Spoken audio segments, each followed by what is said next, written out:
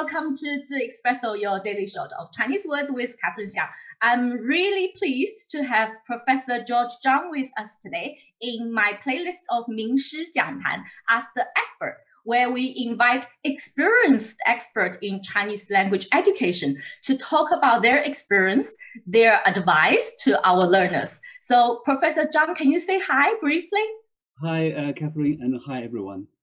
Great. Thank you so much. And I'm really honored actually to have George Zhang with us today because he's really experienced and established in the UK Chinese language education. So please first allow me to introduce Professor Zhang properly. Uh, professor George Zhang is Professor of Chinese and Director of the Center for Modern Languages in the School of Liberal Arts of the Richmond University, so the American International University in London. And he's got, as I mentioned, 30 years of really rich experience in Chinese teaching in British and Chinese university as well. And he also has a lot of experience in terms of management consultancy and training. And he got his PhD from University of Nottingham. And before joining Richmond University, Professor Zhang was director of SOAS Language Center and University of London, and also director of London Confucius Institute in the UK. He has participated and managed in a wide range of Chinese language and learning related projects. So, for example, the European benchmark for Chinese language teaching. Also, he was the chair of British Chinese Language Teaching Society between 2006 and 2008. And on top of that, he is the honorary fellow of Chartered Institute of Linguists and associate researcher at a range of different organizations. And finally, I mean, I, I can go on forever. Uh, I want to also mention he has published a wide range in terms of, you know, not only Chinese textbooks, but also language policy and language learning. And I must mention, because he has many publications in terms of Chinese textbooks, but Chinese in Steps this series of books in particular has won the Outstanding International Chinese Teaching Material Award in 2010. So without further ado, uh, just as I mentioned again, Professor Zhang, so nice to have you here to share what you think is really important in terms of teaching Chinese as a foreign language. Okay, uh, morning. Okay, uh, thanks again, first of all, formally, and uh, thanks to Dr. Catherine Xiang for inviting me to be part of your program. And uh, it's also for me a quite a good honor in a way to share a few thoughts of mine and uh, during the years of my working in the learning and the teaching of languages, just the, not only Chinese but I think obviously my major obviously is in Chinese. If I let me share my screen. And, uh, okay, and uh, thanks again, Catherine, for the very lengthy formal introduction. But I think, uh, in fact, when I, whenever actually I introduce myself, I think normally I start with two roles. First of all, I am a language learner. So the learning journey for me started years, years ago uh, when I first was exposed to English language when I was a kid. That was in Shanghai, actually, and uh, it was just after the kind of uh, uh immediately after the Cultural Revolution, and uh, the government started to decide to introduce something, but the English was very political, so it's kind of you know, and the teacher was not trained. The teacher went to the school in the evening and would teach us in the morning. So without any kind of experience knowledge about teaching English to Chinese, including the kid. And so my learning, the journey of English learning was terrible. I was good at all the courses, all the subjects except English, which I hated at that time. And uh, that also included when I went to the university. And uh, so, because of, well, experience, and then I had to choose English over other subjects, especially math, which I was really good at. And my math teacher, I remember, still remember, he was really mad when I actually chose the English. But English was only the option I had at that time. And because of the limited exposure I had in when I was working in the factory, where we had two imported turbo machines with all English explanations. So I learned a bit of English grammar. So that's why I went to the university to study English. So it's almost fate. But again, experience was really bad, to be honest, until a couple of years later. Basically, I studied four years for my first degree. For the first two years, I couldn't really speak. Okay. Now, this experience helped me in a way to reflect on learning and the teaching and probably in a way prepared me later on to be kind of a language teacher. So in a way, I'm always reflective the process. And because of that, so I said my first role is language learning. Personally, I think learning is never ending. You can never be expert in the language, which is very difficult, including your mother tongue. But the language learning is very telling. So the first all is learning. Secondly, because what I do. So the second role I normally assign to myself primarily is a teacher. So even today, I'm still teaching. And because the teacher teaching also can really tell you a lot. So when you combine the teaching and the learning together, that's very powerful. And that is what really I advise most of the teacher would have to do. If you do not have a rich learning experience in a language, it's very difficult to understand the problems learner have of a language. Mother tongue is easy for everyone, or even the language of the similar family, which we call the language of very, not very distant, but very close. They're quite similar. But Chinese, for many other language you know, speakers, if they learn the Chinese, they would find it's quite difficult. The same as we start to learn English. Because it was so long ago, we start to you know tend to forget the kind of experience we had at that time. So that's number one. But as a teacher, also it's quite important in a way to understand what the language learning is about. What expectation do we have about the language learning? So when I learn the language, I my aim is to learn about a dozen of languages, but not to be able to be able to speak like a native. I can't. If you think about today, the speakers of English, okay, the non-mother tongue speakers, the non-first language speakers far outnumber the first language speaking people. So if you think that Chinese is going to be international language like like like English, I can almost uh, you know say for sure that the, you would have a variety of Chinese, and the Chinese will be spoken in a different way. But as long as you can communicate, you can accomplish the task. And then the, this is what the language is for. Language is for communication. So if you, I mean, we are all in London. If you just go onto the street and you see how English is spoken in variety of ways, that's what the language is about. And if you put it in a wider context in Europe, although we're just out of the European Union, but if you put a con- context in Europe, but UK is still very a multicultural and uh, multi-linguistic kind of uh, society, especially in London, you know, where over 300 languages are spoken. So that's very important in, the in a way that for teachers to understand why we learn the language, what we teach them. Okay. We, on, on the basis of that, obviously, you need some theory, you need some research. So because normally I've been, oh, well, in, in the last uh, donkey years, mm-hmm. and most of the time be working uh, with adult learners. And when I say adult learners, in terms of language learning, I'm not talking about 18 years old who had legal rights. You're probably about 14, 15, you know, age in the teenage time, the way you learn the language is very similar to adult anyway. So you've passed what we call the critical stage in language acquisition. But dealing with this, these people based upon the experience and the research, you know, done, including myself, and we devised, developed this program, uh, this project or this approach, what we call 3C approach.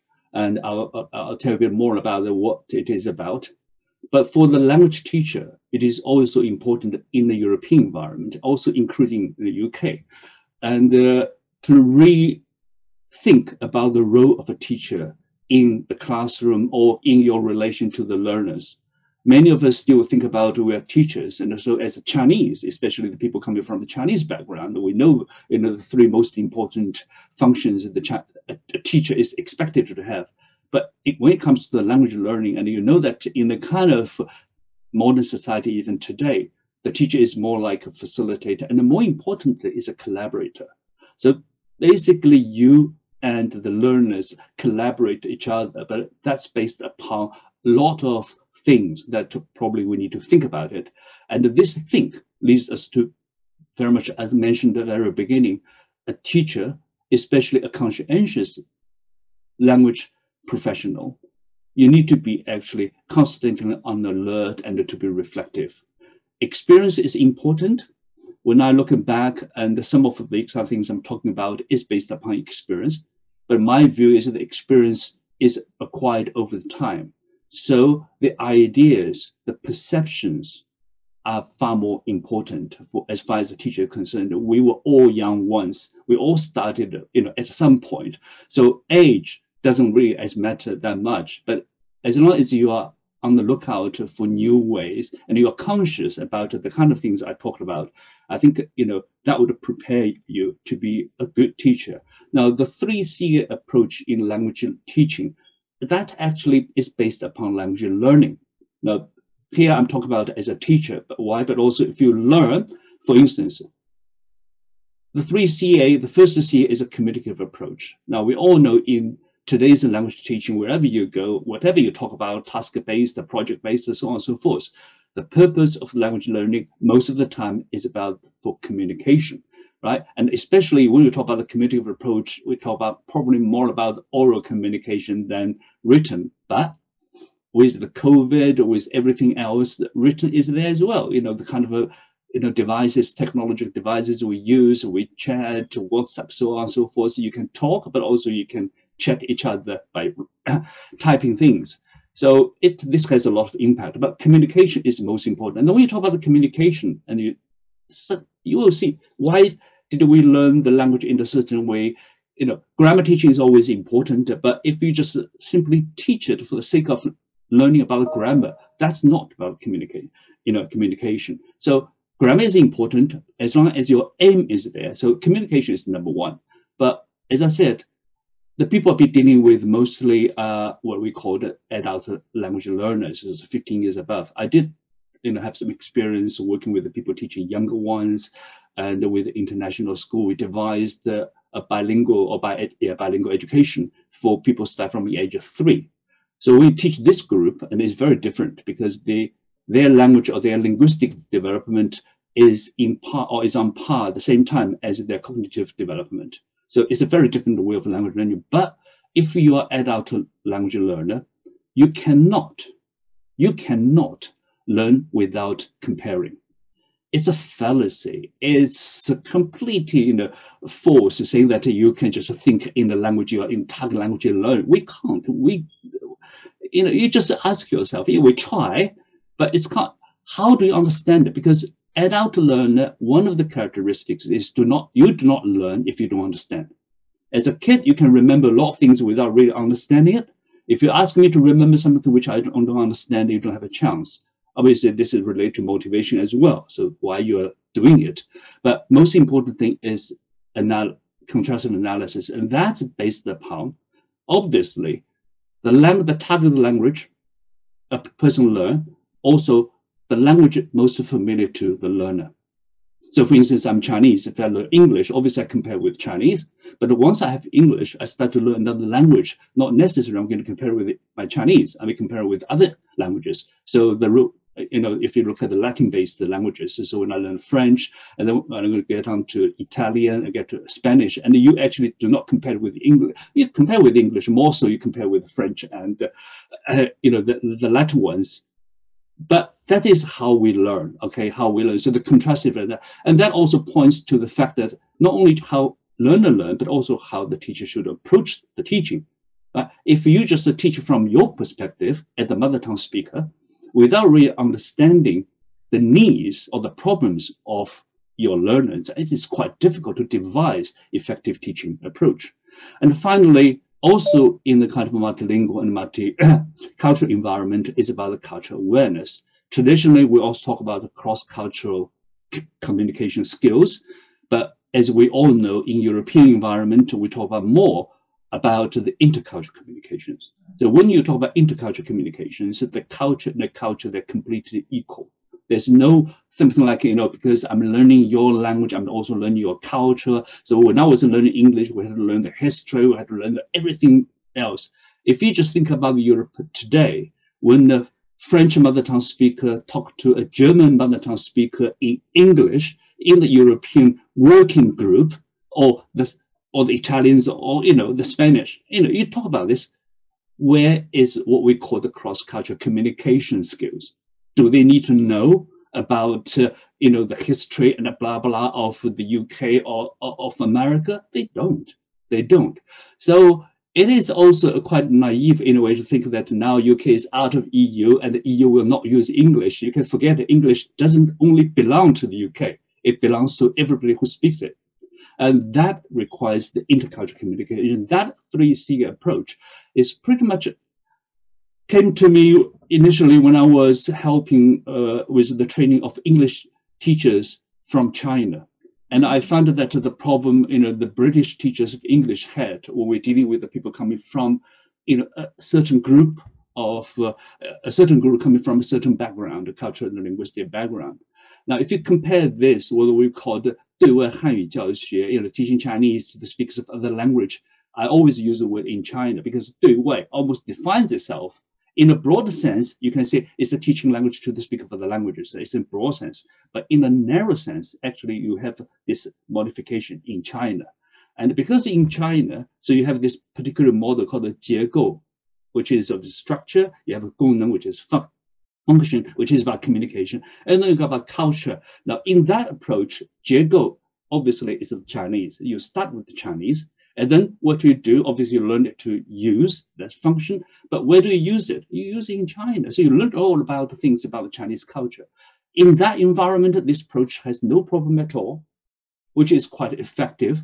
But when you put it in a multilingual and a multicultural environment, and then you would find some of the things do not really correspond because in the next, in the, you know, this three typical 结构功能文化模式, you actually do not really need to know, or you can't really learn the languages of all the participants who come from all parts of the world. It, they probably many of them still rely English, but what about the people whose mother tongue or who did not or who do not know English? So it's quite difficult in that kind of environment. Okay, so I'm going to jump this one. Finally, uh, well, I'm talking about teaching, but I think the teaching is associated with learning. So the learning side is pretty much from my collaboration with my students, the learners I've been dealing with, as well as myself as a learner of languages. Okay, so for teaching wise, I think for teaching, for teachers, the motivation is equally important. Why do we teach? Okay, why do we teach? And what really motivates you to work as a language teacher? Obviously, it's a job but there's more to just a job. Okay, so we talk about the teacher, and for a teacher, and uh, it's just as Chinese say, know yourself. But the other one you need to know is know your learners. Obviously, you need to know your language, know the language you teach. But I think uh, when we talk about the teaching grammar, when we talk about the teaching approach, the fundamental starting point is your learner, is your learner. So once you understand this, you will find that the, teaching will be more relevant because the working is quite, it can be only effective when it is relevant. You know, that's what, uh, you know, when we talk about the, the adult learners, you know, when we're adult, we never learn something which is not useful. We're very practical. We're kind of instrumental, okay? Instrumental. And uh, so the learning experience will determine, you know, how long you want to get on. So the teacher will be very, you have to really pay attention to you know, how the students learn, how students feel about the learning with you, right? So we tend to teach, but for me, I think a language teacher, you need to really focus on three things. What, well, basically try to speak as less, you know, as little as possible, as precise and concise as possible to the point. But that's based upon, as I understand, as I said, the contrastive analysis. If you understand especially the mother tongue or the language in our case would be English, you know, in, in the UK, the language everybody use. If you understand the characters, uh, characteristics and the difference and the similar, similarities, and especially the culture and uh, the cognition that underlines those differences, if you can really touch on that point, your explanation will be very sharp, very to the point. Most important thing, you should be a very wise director. Director in the sense that you direct the direct the learning of your learners. It's almost like an orchestra, people playing different turn, you know, instruments coming from different background, but you are there to make sure that uh, that becomes a really a piece. Finally, the most important thing for the teacher, if you are a learner, you would full, you'll be full of empathy. Okay, if you're not, you always think, you know, why do you do this? Why this is so easy? Nothing is that easy or difficult in language learning. It's just how you do it, how you do it. So combined with experience, that's why encouragement is, in, you know, is quite impo important. This leads on to the learning side because the encouragement would actually help the learner to stay motivated. Obviously, as a learner, especially as conscious, anxious learner, you always have something, you know, you have something in mind when you start to learn something. You know, why, why do I need to learn the language? How many of the learners would actually aim to learn to speak another language just as fluent or as naturally as a native speaker? There are some, there are some, and including many of us. But if you think about the way we speak English, how many of us can speak English as a native do. Okay, so that's number one. Number two is uh, you need to have a realistic and achievable goals, and they they don't have to be long target, long term, but you do need to have a long term plus the short term. So for learning, that's very important. What do I need to achieve? If you want to be, you know, really fluent in a language the way you do, and also the time you need it, you would have to learn more. But if you only want to achieve to a certain level, and then it becomes more realistic. You can put them into little chunks, uh, chunks. And uh, for language learning, because we are adult, normally I always find that it's useful to have a slight overview of what the language is about, because this is again you contrast you, you know, you compare what this language is like, what the language compared with the language we know. For for instance, if you learn German, if you learn Japanese, if you learn Korean, you find that the verb always comes at the end right? And uh, so in that way, you would find that you have to wait until that one, you know, really what the action is about. And then compared with uh, like English and Chinese, some of them are the same as OSO uh, VO structure, but you find that the time and the place, they are not the same at all. So they're always different, but you think about the why. And so once you have a general idea, you focus on the relevant bit, that would actually make learning very effective rather than just accumulate the bit by bit. But every learner has, especially adult, we all have our own different approach. That includes many things. You know, some some people would get up early, some people get late, some people can focus for 10 minutes, some people can focus three hours. It's all different. Some people want to focus on vocabulary and so on and so forth. But most important thing is keep using the language. Okay, that's how you learn. How they. Oh, just the, the frequency. So it's not big chunks. It's just the lit by bit language learning is not going to happen, or language comp competence is not going to happen or achieved overnight. You know, just it's a bit by bit. If you set a realistic goals, it's achievable, and uh, that obviously requires patience and persistence. We learned the language when we started, well, almost like when we were in the womb before we come out into this world, and it took us, you know, I just watching the little ones, including my granddaughter. You know, it took her a good about two years of silence to be able to really speak something. So, if you look at that one, you know, our students, you know, I had intensive course in one of the times, 20 hours a week. After 20 hours, people can speak Chinese for about 10, 15 minutes about themselves, self, introduction. That's a miracle. That's a wonder. That's a wonder. It's achievable that's all. I think uh, thanks. Hope uh, it is of some use, but that's from my personal experience. Thank you. That's excellent. Thank you so much, Professor Zhang. Thank you so much for your sharing. I think a lot of it is particularly helpful for any language teachers. So we all benefit a lot through what you say. But I think I can totally feel you're very sympathetic and also kind of focus on the learners. You really reflect what you say being a teacher, being a learner is actually happening at the same time. So I wanted to follow up with a couple of questions because one thing I thought you mentioned was really, really interesting is about expectation and setting realistic goals, right? So what kind of advice would you give to learners at different stages in terms of setting goals and having the right expectation? Yeah, I think uh, uh, you know from the different kind of learners of Chinese, you know, I've been uh, I have encountered in a way you would find that most of the adult learners would have a very real uh, how would you say as I said instrumental aim. Some say I would be able to, for instance, somebody is married into Chinese family. Okay, either have you know this one or somebody probably work needed, or somebody will think about in the future they want to change. Yeah. And then you would ask yourself what level of Chinese you would like to get to in the end. Okay, so that's the number one. So that's why I said you set a realistic, set a kind of a long-term goal.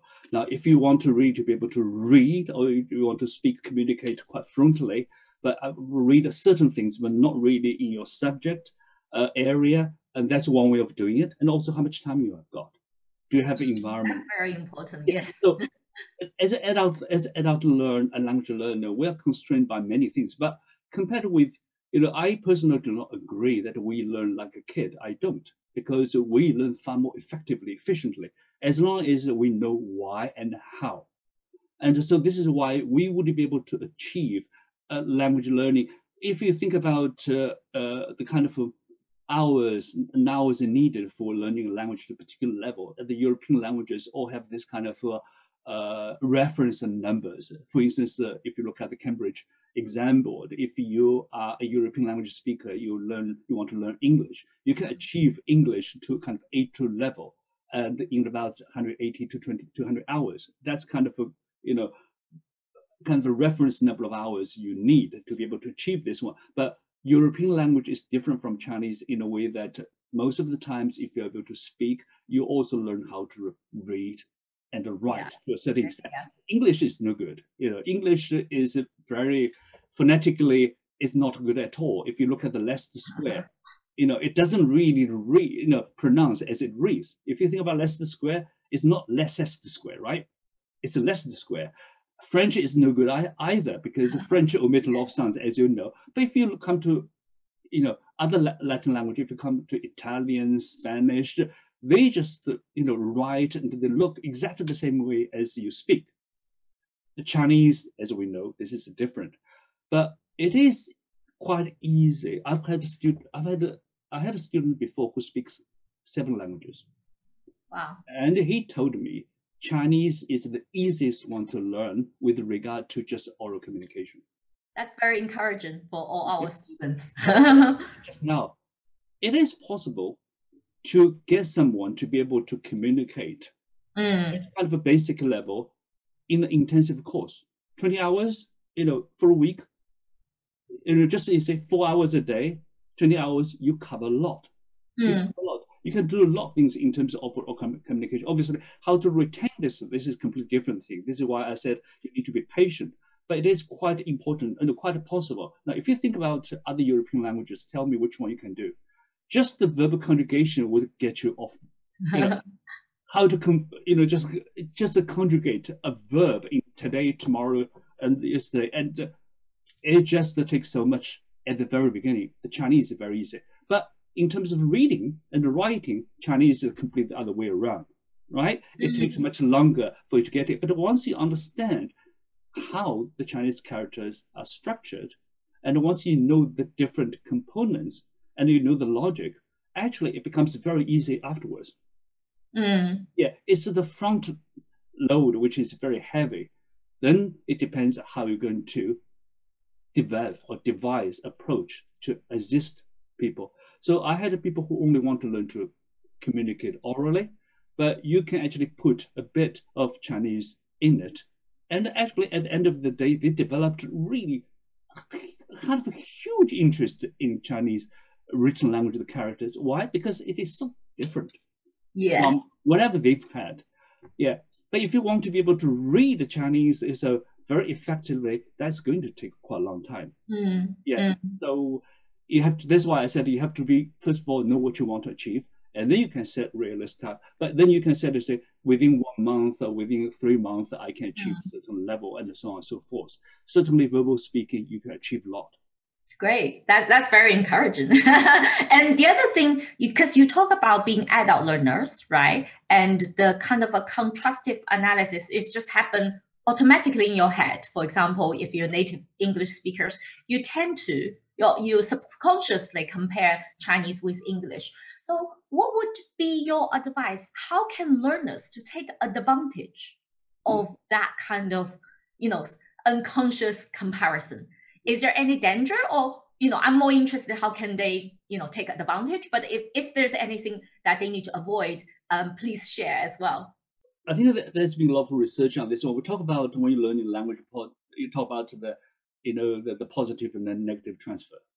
Okay. Mm, yeah. i think the danger is that you try you, people as adult we tend to overgeneralize so you learn a couple of things, you say everything's the same. But we always tend to use the language we're familiar with into the target language. Yeah, structure wise, you know, conjugation, whatever you talk about. And uh, so this is where I said even subconscious use, but this is actually a useful strategy we all use. Obviously, it has its danger, which is what the teacher need to be, you know, kind of uh, aware of. And if you do not know the language of the other person, you're not really, you know, conscious of those kind of problems. And the 3C approach is very much kind of was devised based upon the difference between the Chinese and the English, in- including the book you mentioned, the Chinese in Steps, mm-hmm. was really founded on this principle. But this actually came from kind of a long tradition. So I started as a teacher of English. So my specialization before was helping the Chinese learn English because you know my own experience. I said you know the English learning shouldn't be that kind of painful, should be far more effective. And then we also come to the other side, just helping the English speakers to learn Chinese, exactly the same thing. It just flip the coin around, flip the coin around. They always compare. But if you look at uh, the tradition in SOAS, you mentioned about where I worked. So if you look at uh, you know the textbooks, first the textbook divided the Linguaphone Chinese divided by Lao She and a colleague. It's already Chinese and uh, English native speaker work together. When it comes to the second generation, the colloquial Chinese by Pollard, and it's a similar thing. It's between the Chinese and English. And then, you know, the Chinese in steps is really devised for people who's who are not really learning Chinese as a major or learning as elective or learning in their spare time. So it's not that intensive in, in terms of the content, but it actually, the grammar is buried in the speech patterns. There's no formal teaching of grammar at all. But it's all based upon the differences between the two languages. So the difference is far more important in a way. for yeah.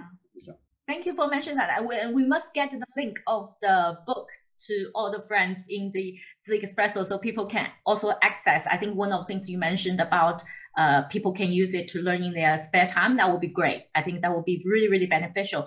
And I think my final question is more about really fascinating when you talk about this cultural awareness and particularly cultural awareness in a multilingual, multicultural setting, which is really interesting because, of course, nowadays we teach students to learn Mandarin Chinese. But China itself is multilingual, multicultural. We have different dialects. We have north, south, and you know, different region might have their own culture.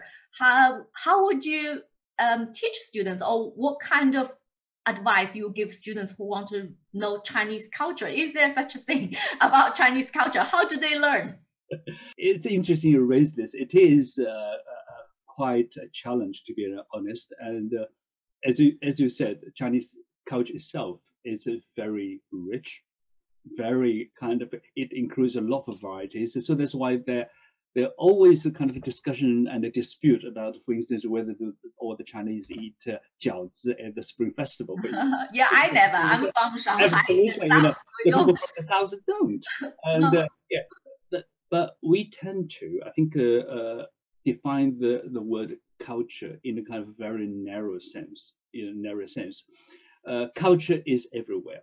And uh, in fact, the Chinese language itself is full of culture. And, uh, you know, I've talked about uh, this in many other ways because of the approach we take in the contrast, contrastive analysis. And uh, the language itself, in many ways, reflects the way why we are Chinese.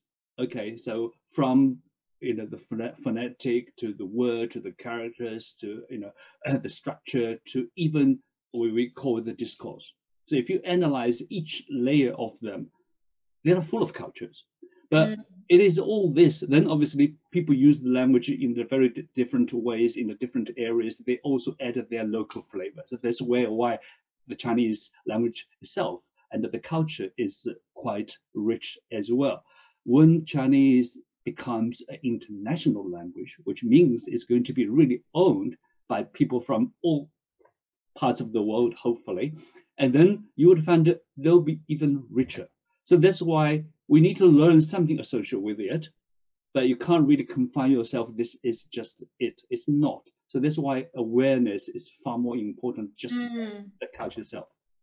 Okay, okay. I, I know I said that was my last question, but because you're so experienced and also you shared a lot about um, advice to teachers actually in, in your initial talk. So if I may, um, what else the language teachers should be aware of or develop, you know, if they think teaching Chinese as a profession? Because I think we we will all, you know, benefit a lot from your experience and advice. So can you just uh, share a little bit? It, so what Chinese teachers can do or should do to develop themselves professionally? Uh, uh, well, I think in in a way, uh, I would probably find myself repeating myself. And I think uh, at the very beginning, uh, the the first slides, pretty much, I think you know, I focused on this kind of thing. Uh, to to to have some language learning experience, when I started the language Chinese language teaching training programs in SOAS, and uh, normally the first lesson we had for the people on the course was to learn a language that is new to you. Normally would be an African language people never heard of. Why? That experience hopefully would help you to reflect the way you teach others when you actually become a teacher, you know, enter into the classroom. So you need kind of experience so that you would have the empathy and kind of understanding what the language and learning is about. As I said, and the uh, age and experience, and the experience is important, but it's accumulative. So in a way, you don't need to be worried too much. In fact, uh, very, you know, age or being young is an advantage because you know young people nowadays learn things far faster than you know of my age. You know, when it comes to technology, for instance.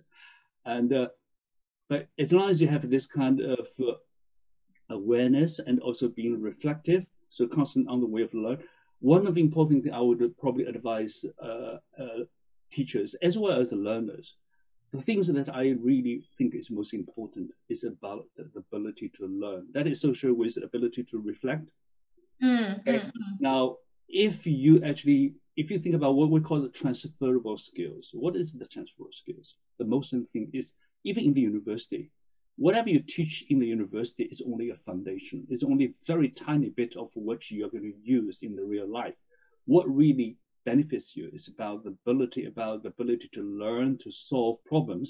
Mm, mm, problems. Mm, mm, it's the same thing in the language. Okay, as a language teacher, you learn solve the problems when you learn language. I need to I I deal with this problem kind of all the time. How to remember the words? I can't remember them. How can I use this and all this? So you see where the problem is, uh, you know. And then this is your learning, but also you help the learners. Why would he or she had this problem? You know what? What, what the core? What, what are the causes? And those kind of quest and the reflection will lead what we call action-based research. So research is not all theoretical. It's actually quite, you know, practice-based. So as long as you're aware, then you would be looking for the ways, you know, how to approach that kind of research, how to do this, and the collaboration, as I also mentioned. Nowadays, it's very difficult for you to do things in the silo, and your program, for, for example, is example to help people to work together. So actually, we do not, we'll probably not meet in person, but we actually collaborate. We learn from each other. We exchange experience. Not all of them are useful, but hopefully some of them will be of some kind of you know you're being too modest it's been really really useful and i think it's not only useful to the audience who are student learners chinese learners but also teachers so thank you so much george for your time today and for your advice no problem okay it's a great pleasure to be here and I wish your program go very well thank you Great. And, and thank you guys for watching. I hope you really learned a lot from today's interview, today's talk, and see you next time. Bye.